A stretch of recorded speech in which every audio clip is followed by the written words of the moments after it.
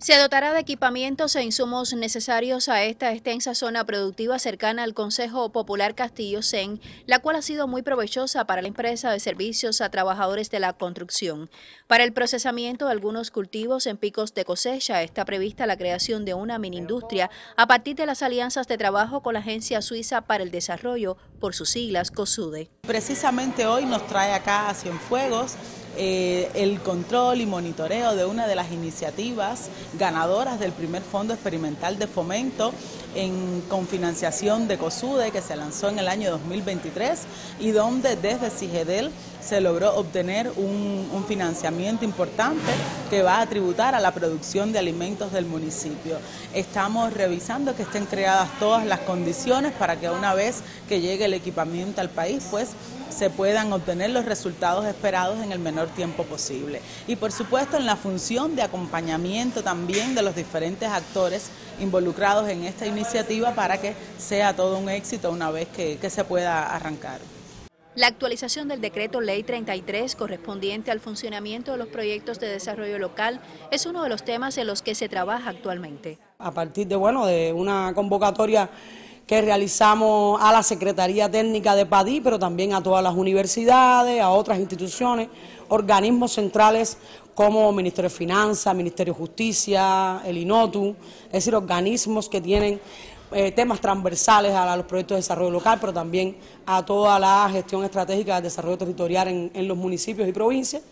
Y bueno, hicimos un taller donde ahí revisamos y analizamos todas las dificultades que existen eh, todavía en la implementación del decreto y de las normas complementarias. Porque, como todos sabemos también, los actores económicos nacieron posterior al decreto 33 y por tanto hay cosas que un poco que a veces se contradicen o no están, están en un vacío legal que indiscutiblemente tenemos que actualizar en la nueva norma. Debemos incorporar otros temas como por ejemplo la economía social y solidaria, que son temas que creemos que debemos llevar también a una gestión estratégica del desarrollo. Otros temas como el sistema de gestión de innovación sobre la base de ciencia e innovación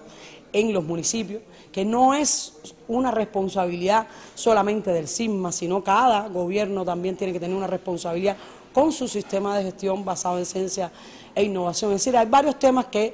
están mencionados hoy en el decreto, pero no están un poquito más desarrollados. La gestión estratégica del progreso territorial, las alianzas públicos-privadas, el rol activo de la ciudadanía en la dinámica económica de sus lugares de residencia, así como el impulso de la comunicación desde y para las localidades, fueron temas que abordaron las expertas en su visita de trabajo al Centro de Innovación y Gestión del Desarrollo Local, CIGEDEL hacer muchas cosas en estrategia de comunicación, en participación ciudadana, en alianzas públicos-privadas con los nuevos actores que hace dos años se crearon en el país y que todavía no logramos aprovechar todas las potencialidades que nos pueden dar en función del desarrollo del territorio. Nueva experiencia agroalimentaria que posibilitará ampliar las capacidades productivas de esta zona rural y además generar empleos a partir de las alianzas de trabajo que suman voluntades así como financiamiento a favor de la soberanía alimentaria en Cuba. Con la colaboración de la productora audiovisual Nuevas Luces,